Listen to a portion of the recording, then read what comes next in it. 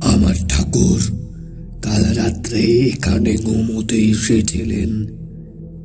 আমিও তাই এসেছিলাম। আমার ঠাকুর যেখানে থাকেন সেইখানেই আছে। আমার ঠাকুর যেখানে থাকেন, সেইখানেই আছেন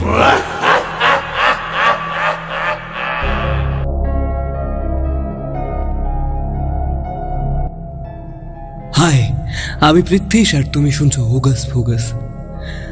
প্রথমেই তোমাদের কাছে খুব ক্ষমা চেয়ে নিচ্ছি। খুব ক্ষমা চেয়ে নিচ্ছি এই কারণেই যে তিন সপ্তাহ কোনো গল্প আনতে পারিনি। যারা আমাকে ফোন করেছিলে, যারা আমাকে টেক্সট করেছিলে যে গল্প কেন এলো না, তাদের জন্য বলি যে ভালো কিছু কাজ আসছে, তার জন্য এবং আমার কিছু গাফিলতির জন্যই গল্প আসেনি। তো এই সপ্তাহে ভূতের গল্প। হেমেন্দ্র কুমার রায়ের লেখা ভূতের রাজা। হেমেন্দ্র কুমার রায় সম্পর্কে তো তোমরা সবাই অবগত। তিনি কবে জন্মেছিলেন, তিনি কবে ভূতের গল্প লেখা শুরু করেছিলেন, তাই ওনার সম্পর্কে আর কোনো কথা বলছি না। সরাসরি আমরা গল্পে চলে যাচ্ছি আজকে তোমাদের জন্য হেমেন্দ্র কুমার রায়ের লেখা ভূতের রাজা।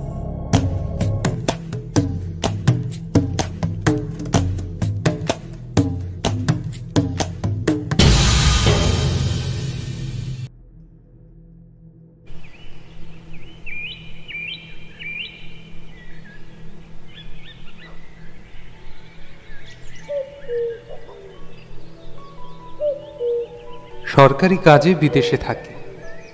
ছুটি নিয়ে দেশে ফিরছি। সাঁওতাল পরগনার যে জায়গায় আমার কর্মস্থল ছিল, সেখান থেকে রেল স্টেশনে যেতে হলে প্রায় তিরিশ মাইলের উপর পথ পার হতে হবে। পাহাড়ের পথ, এক এক মাইল হচ্ছে দু তিন মাইলের ধাক্কা। তার উপরে রাতের বেলায় পথে বাঘ ভাল্লুকের সঙ্গেও সাক্ষাৎ হওয়ার সম্ভাবনা কম নয়। সকালবেলায় বেরুলেও মাঝপথে সন্ধ্যা হবেই। তখন একটা শিকার কুঠি ছিল। রাজারা তার বন্ধুরা শিকারে বেরুলে এই কুঠি হতো তাদের প্রধান আস্তানা রাজার ম্যানেজারের সঙ্গে ভালোই আলাপ ছিল। তাকে গিয়ে অনুরোধ জানালো শিকার কুঠিতে একটা রাতের জন্য আমাকে মাথা গোজবার জায়গা দিতে হবে। ম্যানেজার বললেন এখন শিকারের সময় লয় এখন কুঠি খালি পড়ে আছে। আপনি এক রাত কিনে এক মাস থাকতে পারেন। এখানকার পুলিশ সুপারিনটেন্ডেন্ট ও টেলার সাহেব আজ রাতটা সেখানেই বিশ্রাম করবেন। কুঠিতে আরও ঘর আছে আপনার থাকবার অসুবিধা হবে এগুলা। কিন্তু কিন্তু কি? কিন্তু আপনি সেখানে রাত কাটাইতে পারবেন কি? কেন পারব না? লোকের মুখে শুনি কুঠিতে নাকি অপদেবতার ভয় আছে? অপদেবতা? হ্যাঁ অপদেবতা ছাড়া কি বলব? কুঠির পাশে শালপুরের ভিতর সাঁওতালদের এক ভুতুরে দেবতা আছে। সে দেবতা নাকি ভূতের রাজা। তার ভয়ে সাঁওতালরা পর্যন্ত সন্ধ্যার পর পাড়া মারায় না। তারা বলে, তাদের দেবতা নাকি রাতের বেলায় কুঠির ভেতর ঘুমাতে আসে? আমি হো হো করে হেসে উঠে বললুম, বেশ তো, মানুষ হয়ে দেবতার সঙ্গে রাত্রিবাস করব, এটা তো মস্ত পুণ্যের কথা। আমি রাজি। ম্যানেজার বললেন আমি অবশ্য এইসব মেনে মানুষই কথায় ততটা বিশ্বাস করিলা তবু বলা যায় না। যথা সময়ে ডুলিতে চড়ে রওনা হয়ে সন্ধ্যার কিছু আগেই শিকারকুটিতে পৌঁছল। ডুলি বেচারারা বলে গেল, মাইল তিনেক তফাতে একটা গায়ে গিয়ে তারা আজকের রাতটা কাটাবে। কাল সকালে আবার ডুলি নিয়ে আসবে। কুঠির বারান্দায় একখানা বেতের চেয়ারে বসে টেলার সাহেব তামাক পাইপ টানছিলেন। সাহেবের সঙ্গে আমারও বেশ পরিচয় ছিল। আমাকে দেখে সাহেব বললেন এই যে গুপ্ত যে তুমি কোথায় যাচ্ছ? ছুটি নিয়ে দেশে ফিরছি। তুমি? আমি হোমে যাচ্ছি। তুমি কি আজ রাত্রিটা এখানে থাকিবে? হ্যাঁ সাহেব। বেশ বেশ দুজনই একসঙ্গে রাতে কাটানো যাবে। এ ভালোই হলো। দুজন কেন সাহেব? তিনজন। তিনজন? তিনজন আবার কে? তুমি কি আমার আরতালির কথা বলিতেছ? ওটাকে আমি মানুষের মধ্যে গণ্য করি না? না সাহেব তোমার আর্দালির কথা বলছি না। তবে তবে কি তুমি জানুয়ারির কথা ভাবছ? না সেই রাত্রে এখানে থাকে না। না না আমি দারোয়ানের কথাও বলছি না। তুমি কি শোনোনি সাহেব? সাঁওতালদের এক দেবতা রাত্রে আমাদের সঙ্গী হতে পারে। টেলের হেসে বললে ও শুনেছি বটে। তবে সে রূপকথার এক বর্ণ আমি বিশ্বাস করি না। তুমি করো নাকি? করলে একলা এখানে রাত কাটাতে আসি। টেলার পাইপে তিন চারটে টান মেরে বললে দেখো গুপ্ত সাঁওতালদের ওই দেবতাটিকে আমি দেখেছি। এমন বিভৎস দেবতা পৃথিবীতে আর দুটি নেই। তাকে দেখে আমার ভারী পছন্দ হয়েছে। পছন্দ হয়েছে? হ্যাঁ তাই আমি ঠিক করেছি কাল যাবার সময় তাকে আমি সঙ্গে করে নিয়ে যাব। ইংল্যান্ডে আমার বাড়ি বৈঠকখানায় তাকে সাজিয়ে রেখে দেব। আমার বন্ধুরা তাকে দেখলে তারিফ করবেন। আমি হেসে বললুম তাহলে বোঝা যাচ্ছে কাল থেকে দেবতা আর কুঠির ভেতরে শুতে আসবেন না। তবে এই বেলা তাকে একবার দর্শন করে আসি। তার আড্ডা কোথায়? তেলের আঙুল দিয়ে দেখিয়ে বললে ওই যে ওইখানে। তুমি যাও মিনিট খানেকের পথ। পায়ে পায়ে এগিয়ে গেলুম। কুঠির পাশেই অনেকগুলো শালগাছ দল বেঁধে দাঁড়িয়ে আছে। তাদেরই ছায়ায় একটা পাথুরে ঢিপির উপরে মানুষের মতো উঁচু একটা মূর্তিকে দেখতে পেল।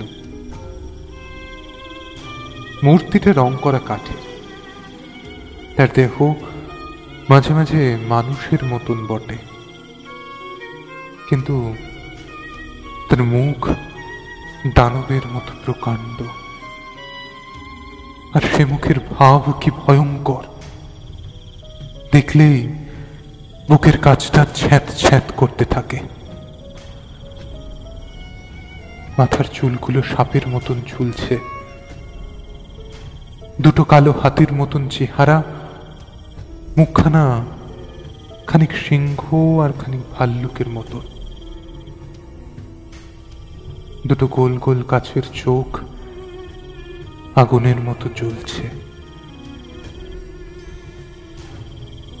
হাঁ করা বড় বড় দাঁতওয়ালা মুখের ভেতর থেকে রাঙা টকটকে লকলকে জীবের আটখানা বাইরে বেরিয়ে পড়ে ঝুলছে। কাঁধ ও মুন্ডের মাঝখানে গলাটা দেখলে মনে হয় কে যেন একটা লেকলেকে সরু বাখারির উপরে মুখখানাকে বসিয়ে দিয়েছে। হাত দুখানা বাঘের থাবার মতো। কোমরের কাছ থেকে পা পর্যন্ত দেহের কোনো অঙ্গই দেখা যাচ্ছে না। কাঠকে খুদে আর কোনো অঙ্গই করা হয়নি। মূর্তির গায়ের রং আলকাত্রার মতো কালো আর মুখের রং খানিক সাদা, খানিক তামাটে, খানিক হলদে।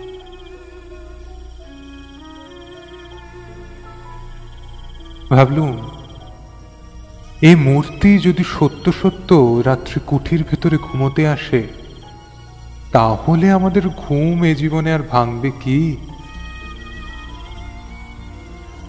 ধীরে ধীরে কুঠির দিকে ফিরে এলো। টেলার পশ্চিমের আকাশের দিকে তাকিয়ে কি দেখছিল? আমাকে দেখে সে বললে, গুপ্ত, খুব ঝড় বৃষ্টি আসছে। ওই দেখো। সত্য কথা। পশ্চিমের আকাশখানা আচম্বিতে ঠিক যেন কালো কোষ্টি পাথর হয়ে গেছে। ঝড় উঠতে আর দেরি নেই।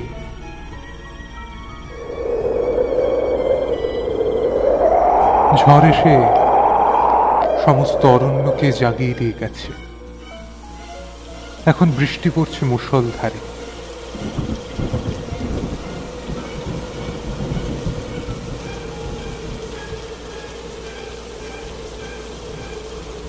অনেক রাত। টেলারের নিমন্ত্রণ নিয়ে তার সঙ্গে গল্প করতে করতে অনেকক্ষণ আগেই ডিনার খেয়েছে। এখন টেলার তার ঘরে হয়তো দিব্য আরামে নিদ্রা দিচ্ছে। কিন্তু আমার চোখে ঘুম নেই। ভূত কিছু মানি না। তবু কেন জানি না, মনটা কেমন খুঁত খুঁত করছে। রাজার সেই ম্যানেজারের কথাগুলো আর সাঁওতালি দেবতার সেই ভয়ানক মুখখানা মনের ভেতর দিয়ে ক্রমাগত আনাগোনা করছে। যত তাদের ভুলবার চেষ্টা করি, আজে বাজে নানান কথা ভেবে তত তারা মনের উপরে চেপে বসে। নরম মাটির উপরে ভারী পায়ের দাগের মতো। বাইরে বৃষ্টি ঝরছে ঝম ঝম, রম রম। মাঝে মাঝে ঝোড়ো দমকা হাওয়া হা হা হা করে উঠছে। যেন কোনো আহত আত্মার কান্না। চারিদিক থেকে বনের গাছপালাগুলো মর মর মর করে কোনো শত্রুকে অভিশাপ দিচ্ছে যেন। তারই ভেতর থেকে একবার শুনলুম। হাইনার অট্ট হাসি। একবার শুনলুম শ্রীকালদের কান্না। একবার শুনলুম বাঘের গর্জন।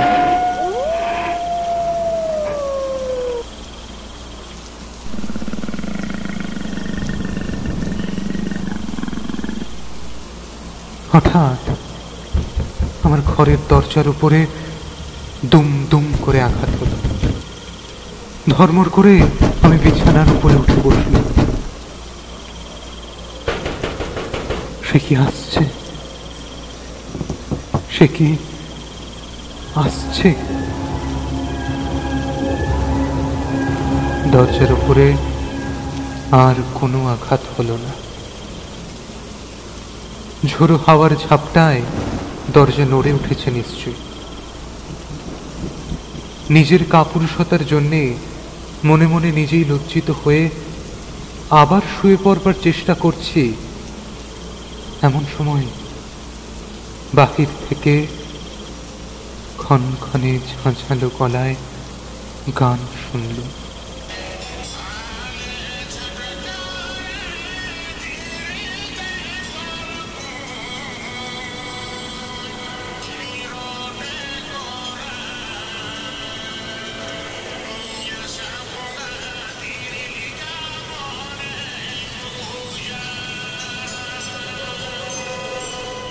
এ তো সাঁওতালি ভাষা। নিশ্চয়ই কোনো সাঁওতাল গান গাইছে? কিন্তু এত রাত্রে এমন ঝড় বাদলে এই হিংস্র জন্তু ভরা গভীর অরণ্যের মধ্যে কোন সাঁওতাল মনের আনন্দে শখ করে গান গাইতে আসবে? আবার দরজার উপরে ঘন ঘন আঘাত হল।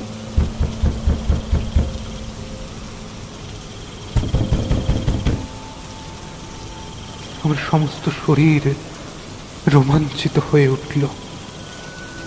এ তো ঝড়ের ধাক্কা নয়। এ যে সত্য সত্যই কি দরজা ঠেলছে আর ঠেলছে? তবে কি সে এসেছে? তবে কি সে এখানে ঘুমোতে এসেছে? আবার গান শুনলুম। এবারে আমার খুব কাছে। একেবারে কুঠির বারান্দার উপরে। সেই তীব্র ক্ষণক্ষণে গলার গান।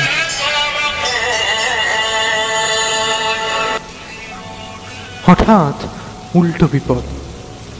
কুঠির ভিতর দিককার দরজায় ঘন ঘন আঘাত। ভিতর বাহিরে বিপদ দেখে প্রায় যখন হাল ছেড়ে দিয়ে বসেছি এমন সময় শুনলুম গুপ্ত গুপ্ত ভগবানের দোহাই খোলো দরজা খোলো শিগগির। এ তো টেলারের গলা। আহ বাঁচলুম। তাড়াতাড়ি উঠে দরজা খুলে দিল টেলার হুড়মুড় করে ঘরের ভেতর ঢুকে পড়ল। তার চোখ মুখ পাগলের মতো। তার হাতে বন্ধু।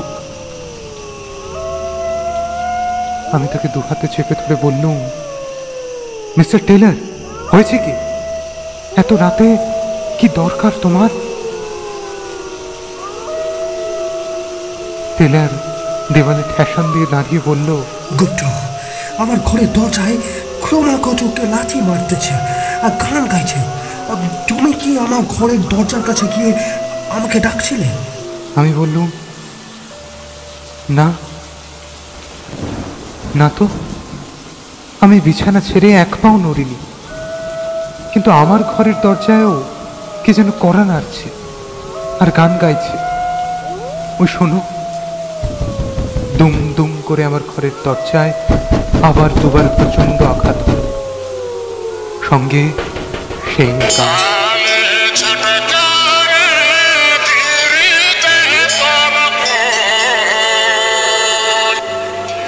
আচমকা আবার একটা ঝড়ের ঝাপটা এসে দরজা জানলার উপরে আছড়ে পড়ল। এবং সঙ্গে সঙ্গে বিদ্যুতের আলোকে স্পষ্ট দেখলুম, বারান্দার উপরে কার একটা জীবিত ছায়ামূর্তি দাঁড়িয়ে রয়েছে। কেউ কেউ, ও কি সেই যে প্রতি রাতে এখানে ঘুমাতে আসে। আমার মাথার চুলগুলো যেন খাড়া হয়ে উঠল। টেলারের বন্দুক দ্রুম করে গর্জে উঠল। সঙ্গে সঙ্গে ছায়ামূর্তিটা স্যাত করে বারান্দার একপাশে আমাদের চোখের আড়ালে সরে গেল। টেলার চেঁচিয়ে উঠল, গুপ্ত গুপ্ত জানালা বন্ধ করে দাও, জানালা বন্ধ করে দাও। পা চলতে চাইছিল না। কিন্তু পাছে টেলার মনে করে বাঙালি কাপুরুষ সেই ভয়ে নিজের সমস্ত দুর্বলতাকে দমন করে আমি জানলার পাল্লা দুটো আবার বন্ধ করে দিলাম। টেলার টলতে টলতে আমার বিছানার উপরে বসে পড়ে করলে গুপ্ত, কিছু মনে করো না। আমি আজ রাতটা তোমার বিছানাতেই তোমার সঙ্গে কাটাবো। বাইরে আবার কে গান গাইলে?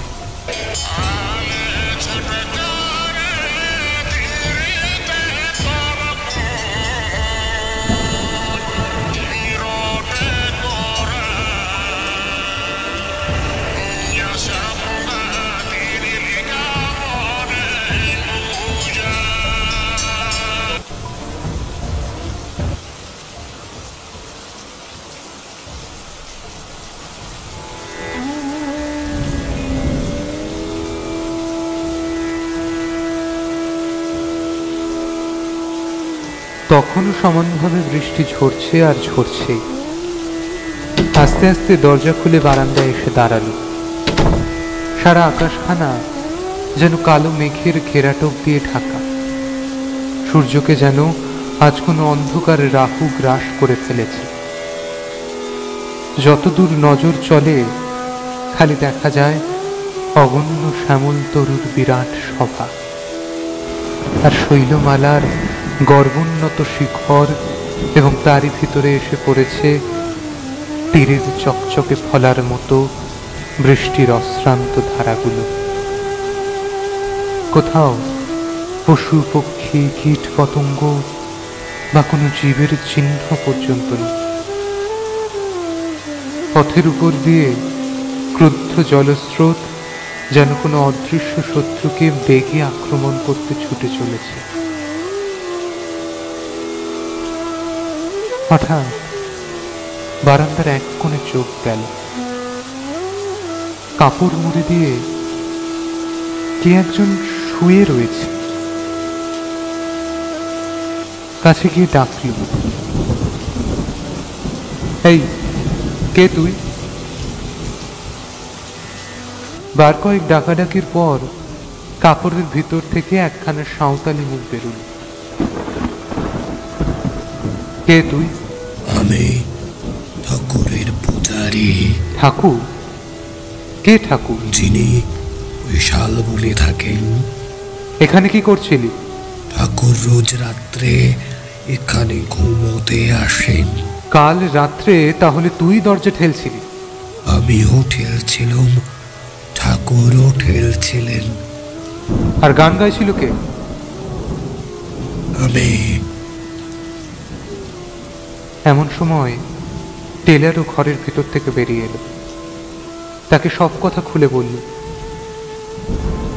টেলার তো শুনে মহাখাপ্পা ঘুষি পাকিয়ে পুরুতের দিকে ছুটে যাওয়া মাত্র সে এক লাফে বারান্দার রেলিং টপকে বাইরে পড়ে বনের ভিতর অদৃশ্য হয়ে গেল।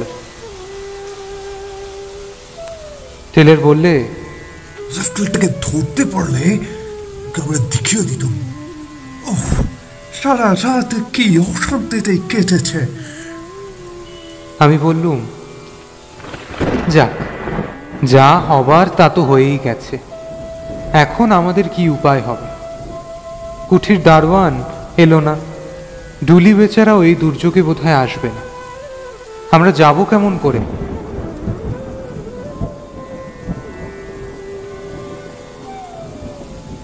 টেলার বললে, আমাকে তো যেমন করেই হোক, আজ যেতেই হবে।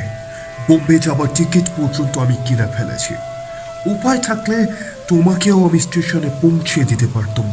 কিন্তু আমার তো টু সিটার গাড়ি।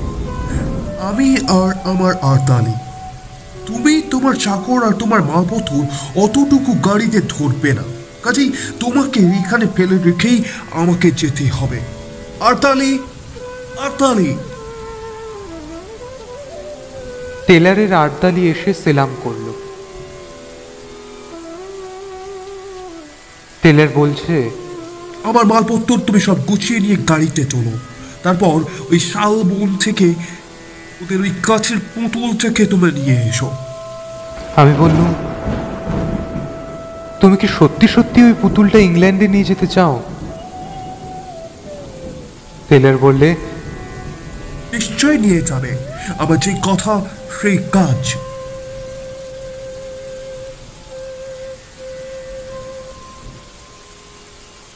আবার রাত এলো। বৃষ্টি এখনও থামেনি। আমি এখনও কুঠিতে বন্দী হয়ে আছি। টেলার চলে গেছে এবং যাওয়ার সময় সাঁওতালদের ভূতের রাজাকেও সঙ্গে করে নিয়ে গেছে। সে আর এই কুঠির ভেতরে ঘুমোতে আসবে না। চোখে ঘুম আসছিল না। একখানা ইংরেজি নভেল বার করে পড়তে বসল। ঘণ্টা দেড়েক পর তন্দ্রার আবেশ এলো। আলোটা কমিয়ে দিয়ে শয়নের উপক্রম করছি। এমন সময় শুনলুম বাইরের সিঁড়ির উপরে আওয়াজ হলো।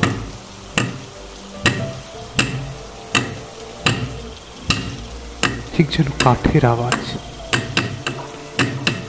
ঠক ঠক করতে করতে আওয়াজটা আমার ঘরের কাজ বরাবর এলো। তারপর দরজার উপরে শুনলুম ধাক্কার পরে ধাক্কা কি আপদ টেলার তো পুতুলটাকে নিয়ে কোন সকালে বিদায় হয়েছে? এ আবার কে জ্বালাতে? নিশ্চয়ই সেই সাঁওতাল পুরুত বেটা সে হতভাগা রোজ রাত্রে এখানে আরাম করে ঘুমোয় আর চারিদিকে রটিয়ে দেয় কুটির ভেতরে ভূতের রাজা শুতে আসে। ধাক্কার তোর ক্রমেই বেড়ে চলল। একবার ভাবলুম দরজা খুলে পুরুতটাকে লাথি মেরে তাড়িয়ে তারপর মনে হলো সে কাজ ঠিক হবে না। এই দুর্যোগে নির্জন জঙ্গলের রাত্রে একলা আমি এখানে আছি। যদি কোনো দুষ্ট লোক কুমতলবে এসে থাকে, বন্দুকটা নিয়ে দরজার কাছে গিয়ে দাঁড়াল। দরজার এক জায়গায় একটা ছেঁদা ছিল। বন্দুকের নলটা সেখানে রেখে চেঁচিয়ে বললুম, কে আছো? চলে যাও, নইলে এক্ষুনি আমি বন্দুক ছুড়ব। কোনো জবাব নেই দরজার উপর ধাক্কাও থামল না।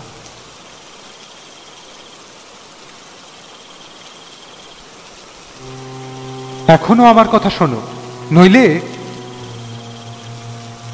বাইরে বিশ্রী কলায় কি হাসতে লাগল আমি বন্দুকের খোড়া টিপলুম। সঙ্গে সঙ্গে দরজার উপরে ধাক্কাও থেমে গেল। ঠক ঠক করে একটা আওয়াজ ঘরের কাঁচ থেকে দূরে সরে যেতে লাগল। তারপর তারপর উঠের শেরের ওপরে শব্দ শুনল।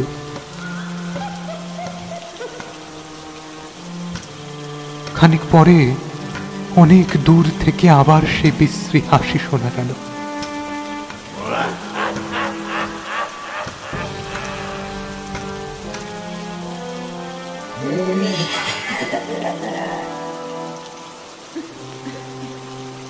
সে হাসি অমানসিক। শরীরের রক্ত যেন জল করে দেয়। শেষ রাতে জল ধরে গেল।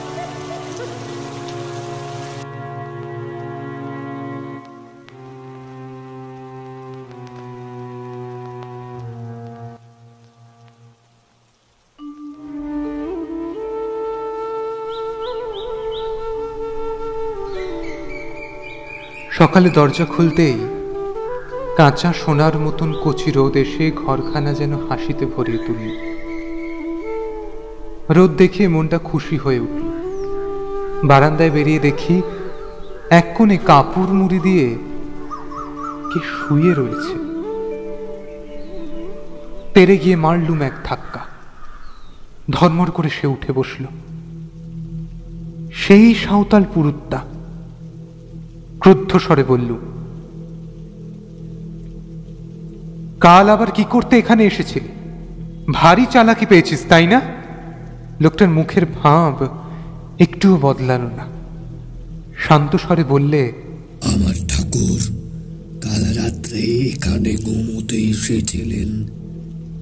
আমিও তাই এসেছিলুম। তোর ঠাকুর কোথায়? সাহেব তো তাকে নিয়ে চলে গেছে আমার ঠাকুর যেখানে থাকেন সেইখানেই আছেন। মিথ্যা কথা। আমি নিজের চোখে দেখেছি। টেলার তাকে নিয়ে চলে গেছে।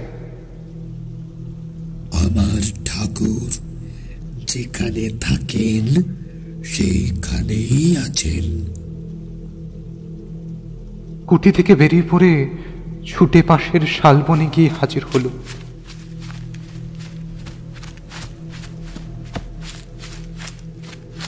সবিস্ময়ে দেখলুম, ভূতের রাজা চোখ পাকিয়ে লক লকে জিভ বার করে ঠিক সেইখানেই দাঁড়িয়ে আছে।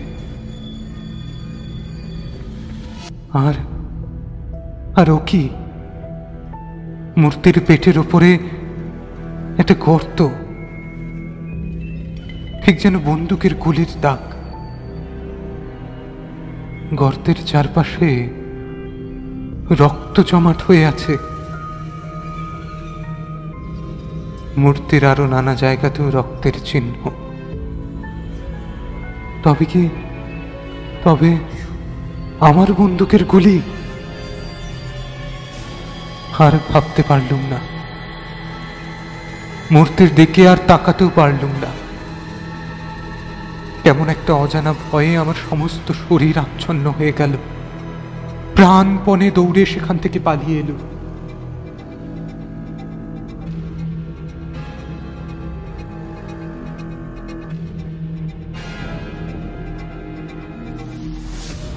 কলকাতায় ফিরে এসেই খবরের কাগজে সেই বিবরণ পড়ল।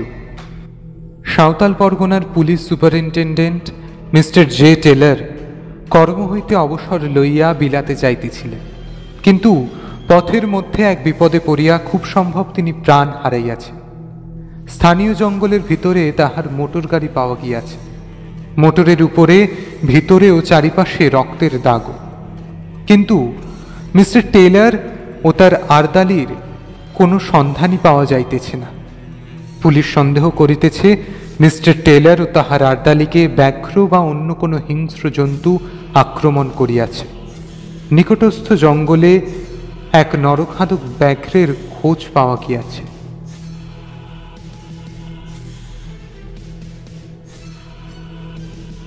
সেই ভুতুরে মূর্তির গায়ে যে রক্তের দাগ লেগেছিল, তাহলে সে রক্ত হচ্ছে হতভাগ্য টেলারের আর তার আর তালির গায়ের রক্ত। এবং সেই সাঁওতাল পুরুতটাই নিশ্চয়ই কোনো গতিকে খবর পেয়ে ভূতের রাজাকে আবার শালবনে ফিরিয়ে এনেছিল। মনকে এই বলে প্রবোধ দিলুম বটে, কিন্তু প্রতিজ্ঞা করলুম, শিকার কুটিতে আর কখনো রাত্রিবাস করব না। কি সে কি হয়? কে জানে?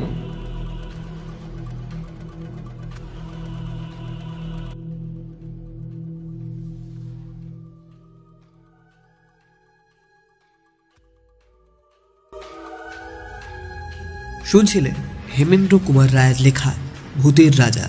কেমন লাগল গল্পটি? অতি অবশ্যই আমাদের কমেন্ট বক্সে কমেন্ট করে জানান। ভালো লেগে থাকলে একটু শেয়ার করবেন। আমরা প্রায় সাড়ে চারশোর দোরগোড়ায় এসে পৌঁছেছি। পাঁচশো সাবস্ক্রাইবটা তোমাদের হাতে।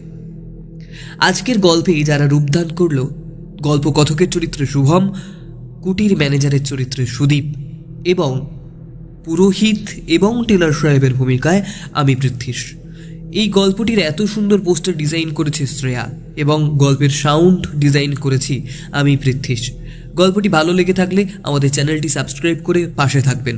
ফিরে আসব পরের সপ্তাহে নতুন কোনো গল্প নিয়ে। ততদিন সুস্থ থাকুন ভালো থাকুন গল্পে থাকুন।